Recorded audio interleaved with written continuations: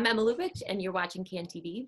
We're here today with Daniel La Spata, Alderman of the First Ward and a member of the Committee on Environmental Protection and Energy. So thank you so much for being with us today. Thank you so much for having me. Yeah. So over the past week, ComEd has been at the center of the news cycle in Chicago for a massive bribery scandal. Um, this comes at a time when ComEd's current 30 year franchise agreement with the city is coming to an end. So, about a year ago, you and 21 other alder people called on the city to conduct a feasibility study to see whether it would be financially plausible for the city to buy out ComEd's assets and take over control of the city's power system. So, the exploration of public power was being called for a long, long before the depth of the bribery was unveiled.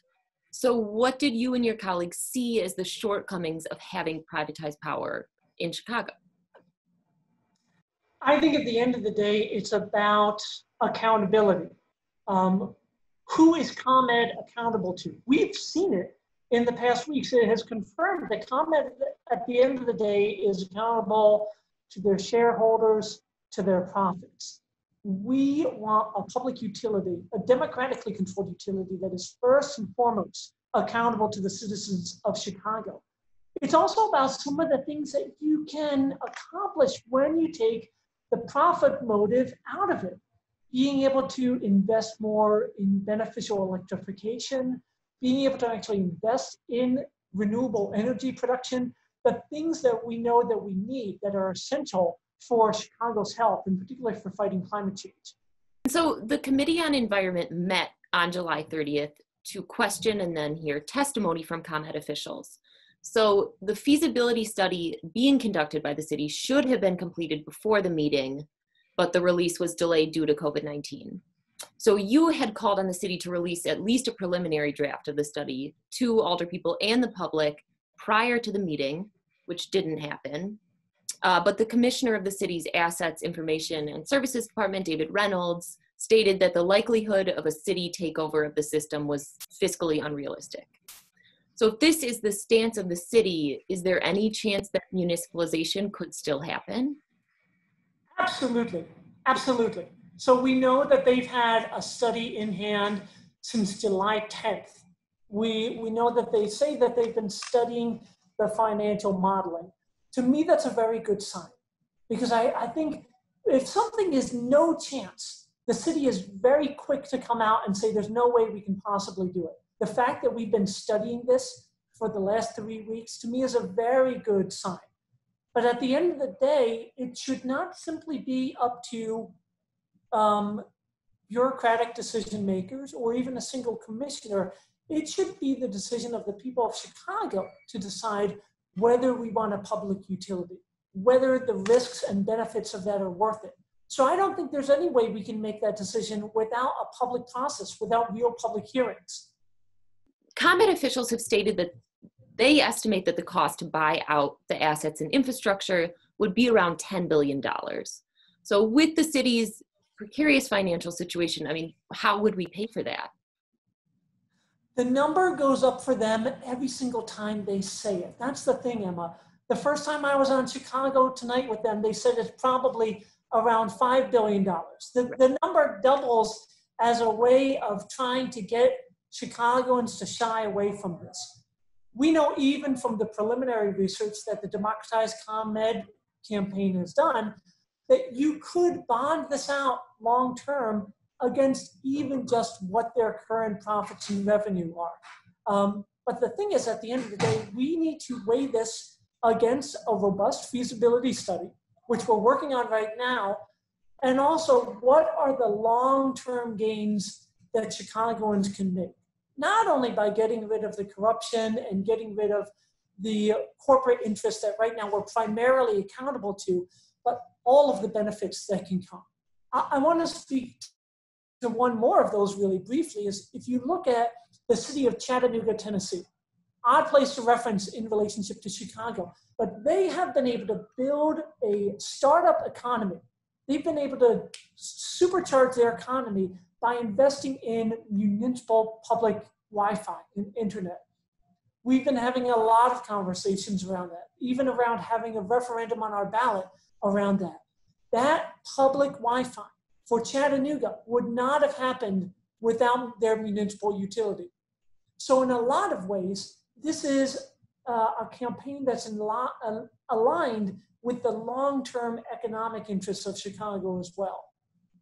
And so, you've called for the city to enter into a much shorter franchise agreement, one year, just to give council members enough time to debate the possibility of an alternative with full access to the study.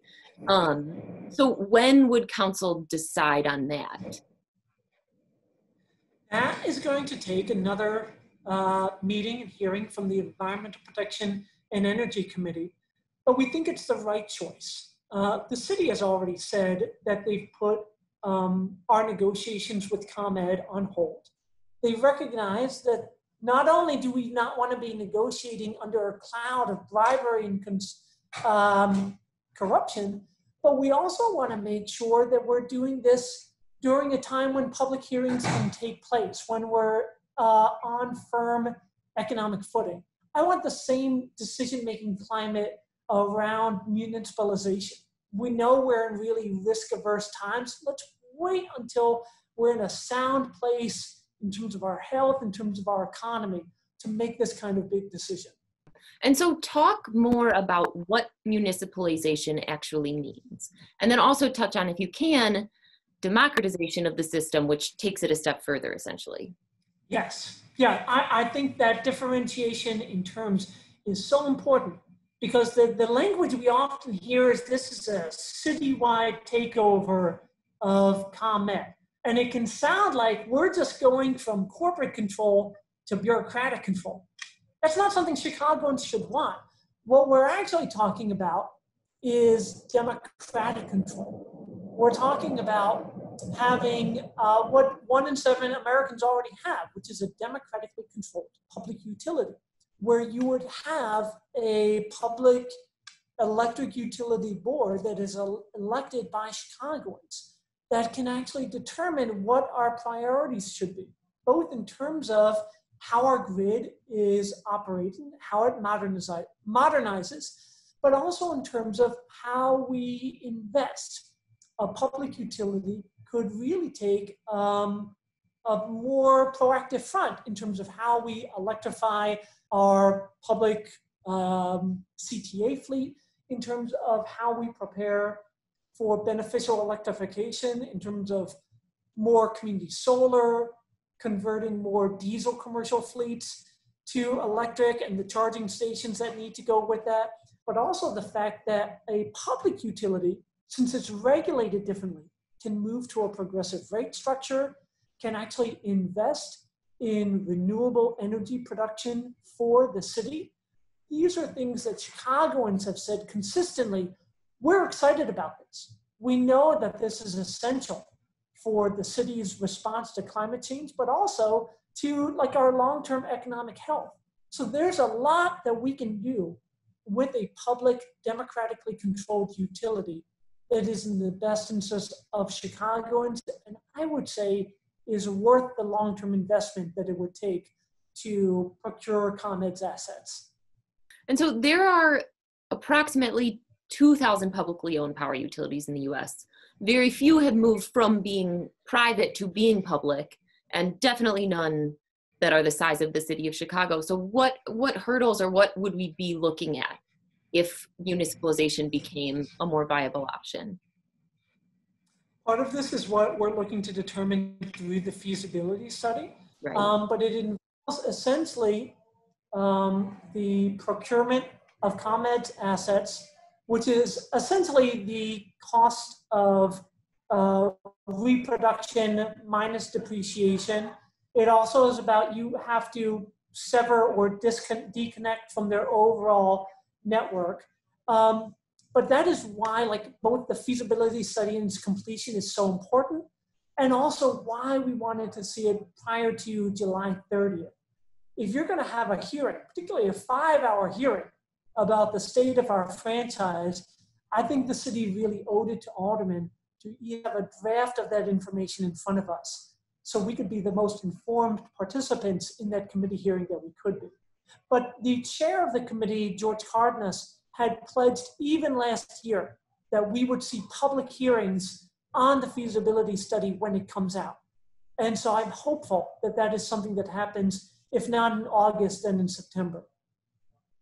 And so, what does the continuation of this effort look like for your office? And are there dates, meetings that Chicagoans should be looking out for? I think for my automatic allies and myself, it really involves continuing to push on a weekly basis for the release of the study. I think it's going to be really important to uh, hold the city's feet to the fire to schedule those public hearings, but then also to make sure that we have that one year franchise agreement extension. None of us want to turn around and find uh, a draft franchise agreement suddenly put on our desks in October, November, when, when we're in the heat of budget season, when we're trying to cope with our response to COVID 19. I think having that stability, that predictability of a long term franchise agreement, uh, well, a long term extension of the franchise agreement is important. So, setting the date for those public hearings and to hear out and pass the council order for the one year extension, those are the dates that I'm pushing for. Okay. All right. Well, thank you so much for speaking with us today. I really appreciate it. Thank you so much. I really appreciate the conversation. And folks who want to learn more about this campaign can go to www.demcomed.org. That's D E M C O M E D.org. Okay.